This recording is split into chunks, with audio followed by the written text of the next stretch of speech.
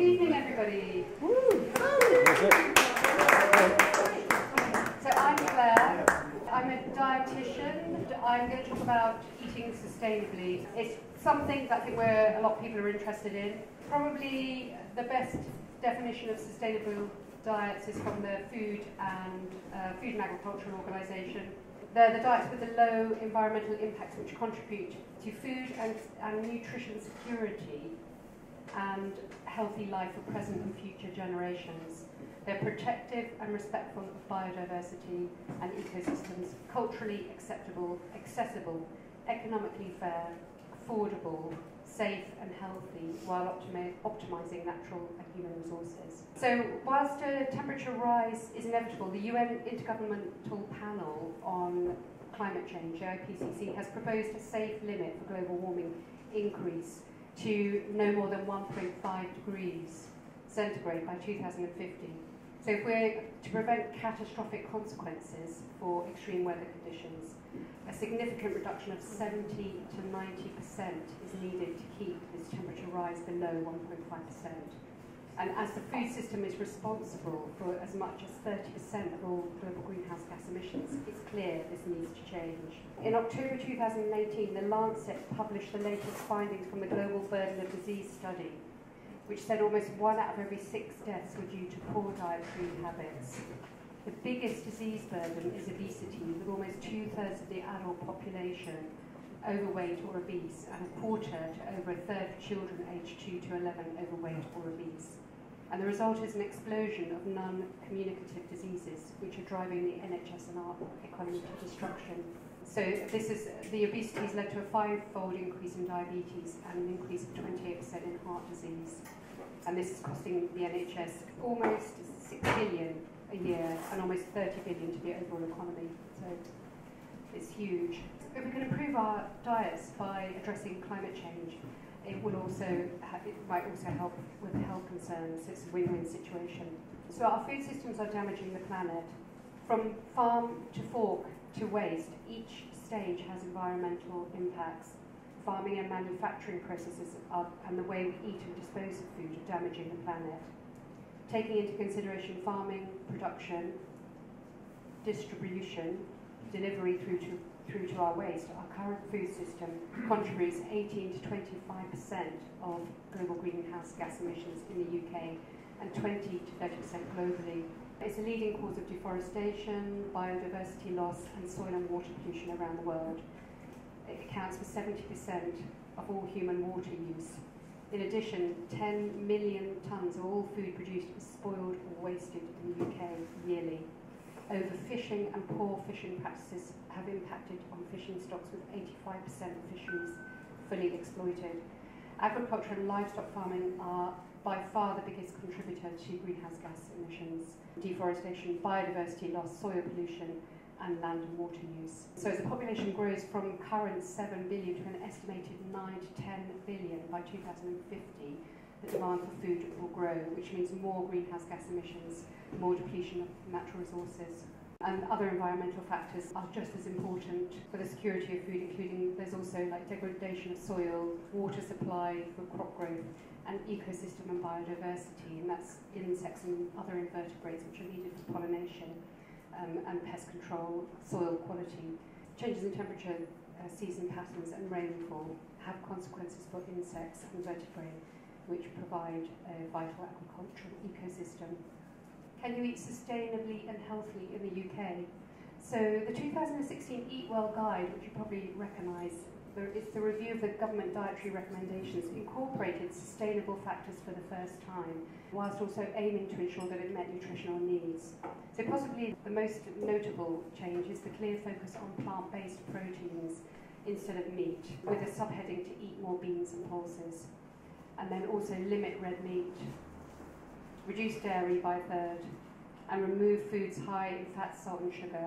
Ensure fruit and veg and starchy foods are the biggest part of the guide. So dietary recommendations for sustainable diets.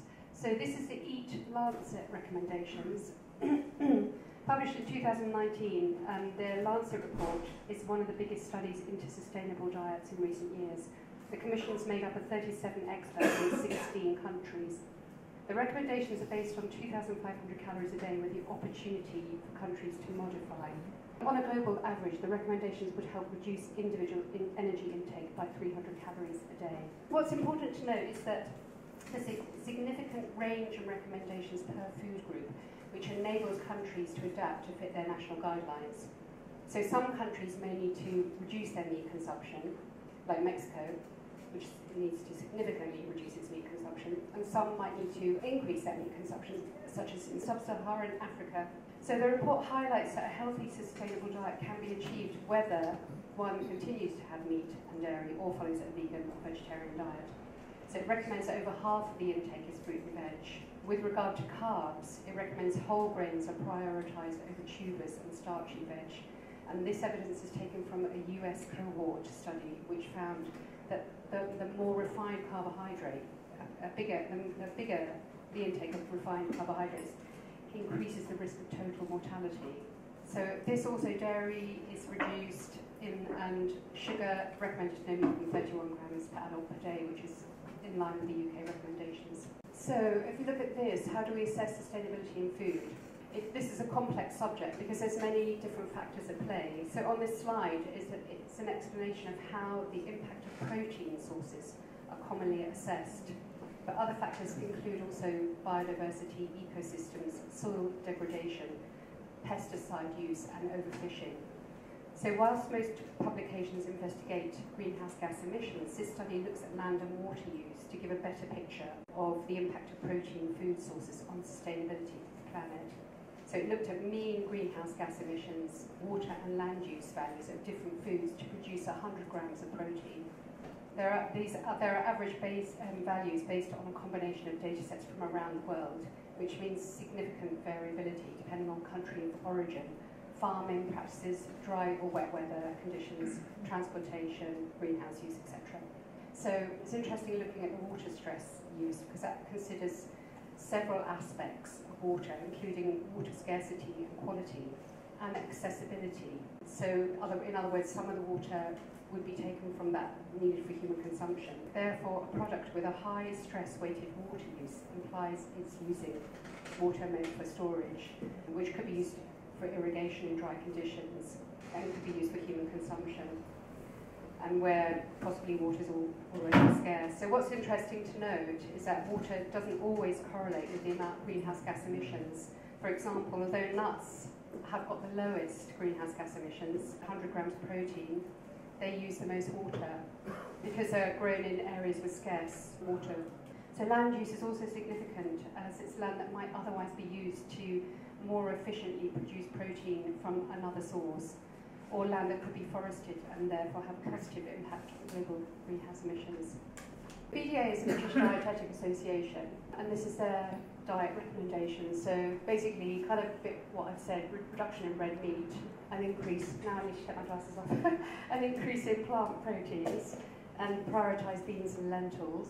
Fish is using sort of sustainable fish from the accredited places, reduction in dairy, and using plant-based milk instead, where available. In terms of starch, an increase in whole grain, and fruit and veg, increase in fruit and veg, but with the caveat that if it's air freighted, prepackaged, grown in greenhouses, then not so good. Reduction again in that, a ban on high fat, salt sugar foods, reduction in juices, sweet drinks, cans of Coke and that sort of thing, reduction in food waste. So to eat more sustainably, it's important to remember that meat doesn't have to be omitted, but reduced, and processed meat should be avoided. Although it's got less protein in it, it's got a more rounded nutritional profile, especially complex carbohydrates, which contain a lot of fibre and minerals. And it contains all the essential amino acids, so even a diet based purely on plants will meet the energy requirements and contain all your essential amino acids. Reducing food waste is important because uneaten food has no nutritional value and significant environmental impact. Individual households have the biggest role to play in this. So fruit and veg, which are perishable, are the biggest contributors to household waste. But it's a complex message to give the public because we don't want to discourage fruit and veg intake. So the message has to be waste less, buy tinned, frozen, and use leftovers in soups, stews, etc.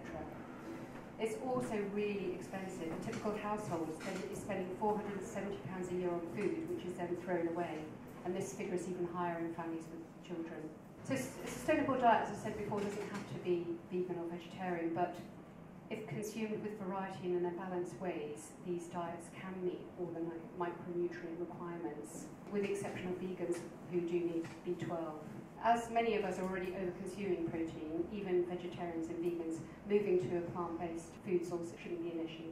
Although we get less iron from plant sources, it's less bioavailable, it's interesting, uh, there was a study done over 12 weeks which, which showed that the body adapts. There was an increased absorption of over 40% of iron. So non-dairy foods like dark green veg can contribute up to 400 milligrams of calcium. So it's going some way to meeting our requirements and then you've got nuts and seeds, and also flour because it's fortified, along with other white flour-based goods. And then you've got zinc, which is a source of uh, vitamin B12. Okay. Thank you.